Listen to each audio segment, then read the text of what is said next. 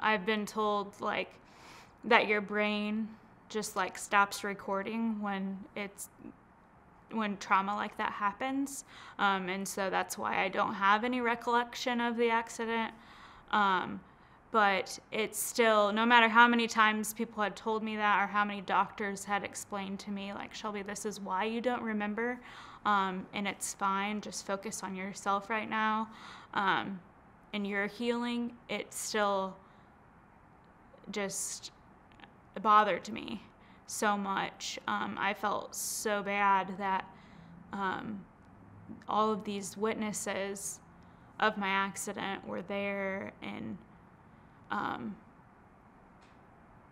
had to endure um, just seeing all of that. Um, my husband actually, before my accident, like even walking into a hospital, he would like, you know, the smell of a hospital would make him weak and um, he didn't like anything like that. Um, like, for instance, in high school, he played football, and one of his buddies had surgery um, in high school on the off season or something like that, and he had gone in with one of his other buddies to visit him in the hospital, and like the EKG pads they put on with the like, the sticky pads, the patient's mom had like peeled one of those off, and Jimmy fainted.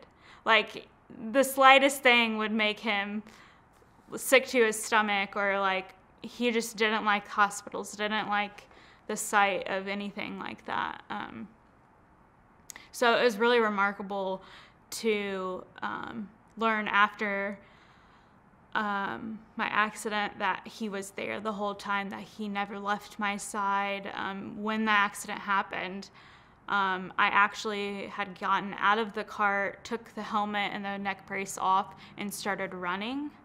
Um, and he had saw me running, and so he got out of his cart and started chasing me. Um, and it ended up like I turned back around and was, and we ran into each other.